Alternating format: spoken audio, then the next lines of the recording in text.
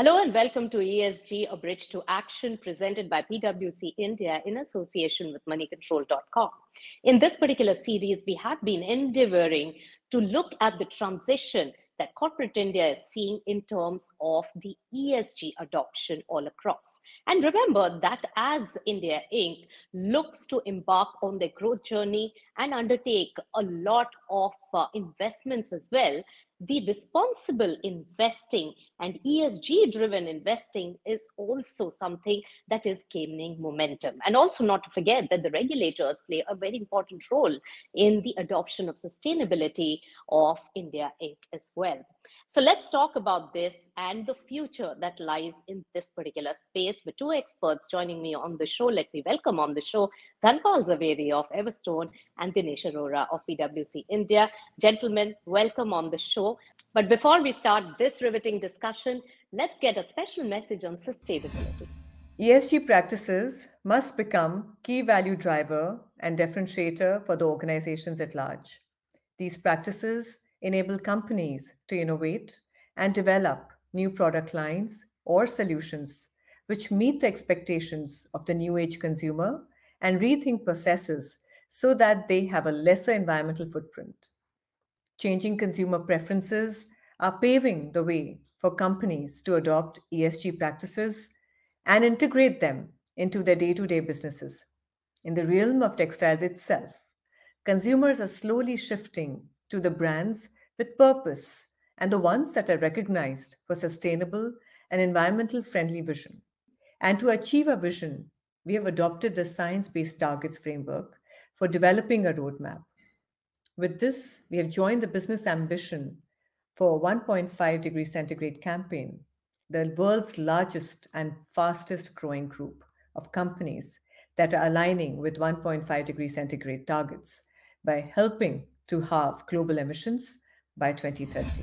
Now, my first question, Dinesha, how do you see the responsible investing bit picking up, and what does it mean for the corporates looking at attracting investments?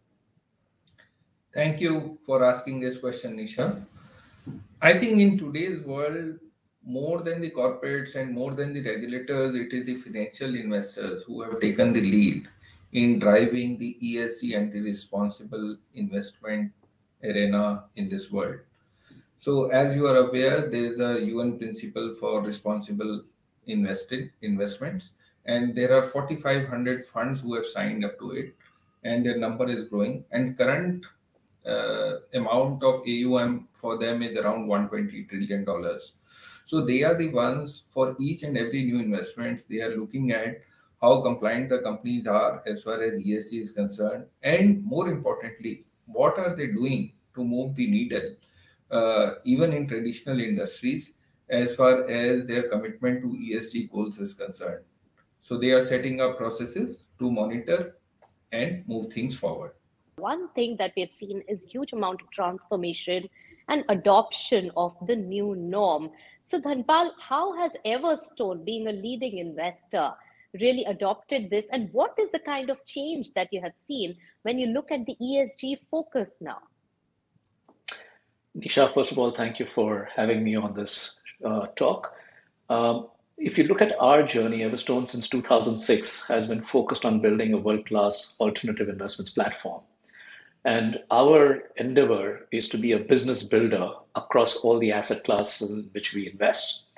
Uh, we have to take a very holistic development to building these businesses. And one of the most integral uh, pegs on which we develop this is making sure that these businesses are also sustainable. Uh, clearly, uh, as they look to uh, adhere to all kinds of universal uh, ESG criteria. We do this by very actively working with the businesses. One, developing the roadmaps, making sure that there are active action plans which we implement, and then finally ensuring that we monitor and measure uh, these uh, criteria that we introduce into the businesses. The final aspect about this is making sure that they are uh, businesses which eventually lead to responsibility for not just generating profits for shareholders, but for society at large, and leaving a kind of a legacy of responsible yeah. stewardship as we eventually exit these businesses. Right. So, Dhanpal, uh, you spoke about monitoring and measuring. Now, that's a very critical part. We, we talk about ESG. Uh, is it a lip service or is it really being adopted? And whether it's, it is having the required impact. That is becoming a very crucial aspect where we are learning on the job. How do you do that? Give us some examples. So the interesting aspect about this is maybe our, I'll live our own journey, right? what I call the ESG 1.0 for Everstone was really about just avoiding harm, making sure that as we invest in these businesses, these businesses were not doing any harm.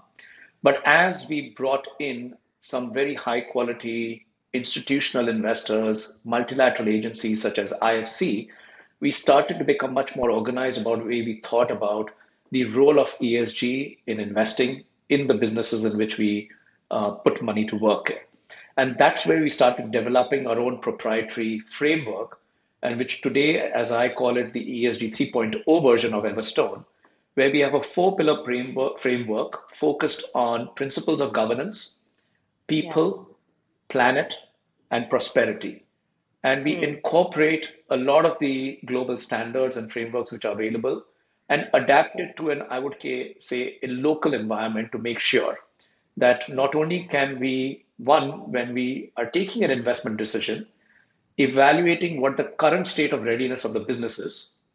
Two, looking at if there are any gaps, and then based on those identified gaps, creating a corrective action plan and mm. making sure that the investee company, when we are taking a decision to invest, commits, signs up, and once we invest, is actually even implementing those plans to make sure that we have the right kind of reporting uh, frameworks, the measurement metrics, and finally, the outcomes which come to us as part of this whole process.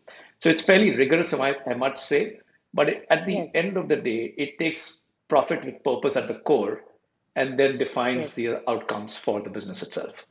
What will you advise to the companies who are looking at attracting investments when it comes to the ESG focus? So, how can companies really transform, become more attractive, and what are the financial tools that they can use?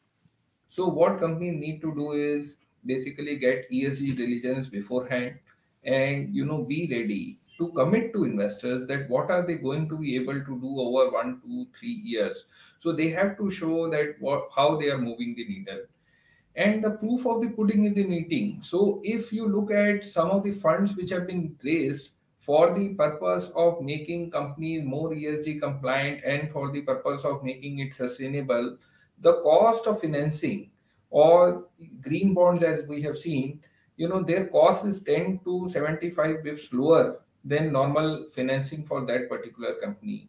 So if you have to be ready to get quality investors, you need to invest to first study where you are. Second is to have a roadmap to present to investors like Dhanpal that how you are going to move the needle to make your profits more sustainable.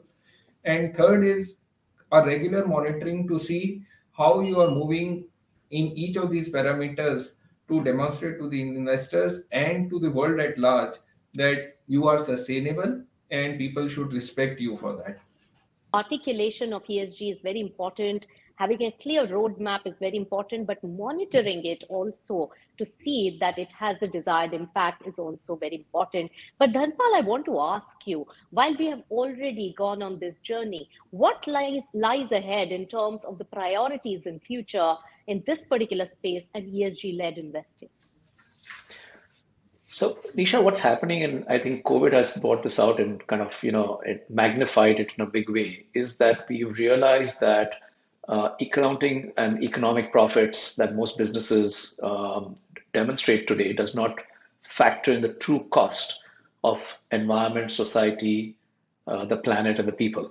So there is two very sharp, I would say, trends emerging from this. One is businesses who are actually proactive and are leading with making sure that you know they're factoring in these risks and doing business in a much more sustainable manner are seeing valuations for these businesses grow dramatically. And on the other end, businesses who continue to impact, um, whether it be the planet or people, are seeing their valuations actually erode because the cost of that future or that future cost is now being priced into the value of the asset today. Uh, this is being played out very sharply uh, by investors across the globe, and it's also starting to play out in India. And I do believe that is going to drive a lot of change in the way businesses report, businesses measure, and manage uh, their ESG responsibilities. I, I, think investors have already spoken, uh, financiers have already spoken. Uh, as uh, Rohit, um, you know, mentioned, one of the key issues is around uh, pricing risk. And already we've seen businesses which are ESG forward are seeing their cost of financing come down much more sharply than businesses which have not been able to adapt. And that is driving that change. Uh, I don't believe enough has been done. I do completely agree with the fact that this change uh, from, I would say, the past to what businesses need to do going forward has a cost attached to it. And it's not being fully priced in. It's a period of change, and I do believe that there will be some pain. Uh, and people will have to take some pretty hard decisions whether they bite it hmm. now, reduce their costs and their or increase costs and reduce profits in the short term, but really changing businesses and thereby driving one, most yes. importantly, survivability of the businesses for the long term, and then eventually, uh, you know, it reflecting in the true cost for them to finance their businesses. And uh, finally, I would like to ask Dhanpal, can the regulators and the government do anything to fast track this process? Uh, absolutely. We've already seen to a certain extent government regulations uh, driving this positive change. But I do believe that a lot of this can be through much more active measures to start pricing in this risk uh, in various parts, uh, whether it be in the banking system, whether it be in the insurance um, system, and finally, whether it be in the capital markets. So I do believe that finance will play a very key and an enabling role. And the role of government in you know, accelerating it in ensuring that these risks are priced in as people look yes. to uh, provide capital, you know, both for uh, positive change as well as to disincentivize, right, the negative aspects of ESG. That's right. You you've you've got the biggest point out uh, in your last few words, uh, Dhanpal. I have to agree uh, that the valuations of companies are getting higher as they are getting more ESG compliant, and only quality companies are getting that premiumization of valuation. And that itself will drive the overall ecosystem to move towards this particular journey much faster than they probably thought. With that, uh, it's a wrap. Thank you so much, Dhanpal, as well as Dinesh, for joining in with your deep insights on this very important topic as companies embark on sustainability and investors create a, an ecosystem for this to be fast tracked and for the companies to adopt it in a much better way for a sustainable future and financing options. Thank you so much.